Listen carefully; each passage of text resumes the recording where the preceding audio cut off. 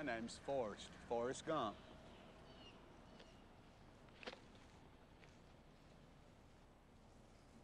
Do you want a chocolate? I could eat about a million and a half of these. My mom always said life was like a box of chocolates.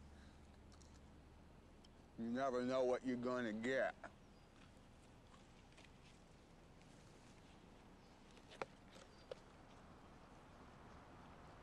Those must be comfortable shoes. I bet you could walk all day in shoes like that and not feel a thing. I wish I had shoes like that. My feet hurt. Mom always said there's an awful lot you can tell about a person by their shoes. Where they going, where they been.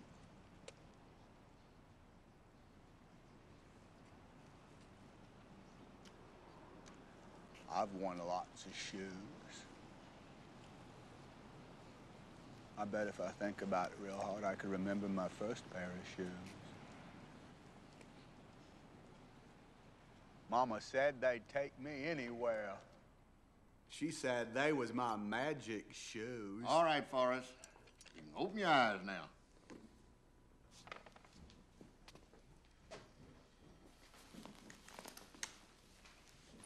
Let's take a little walk around.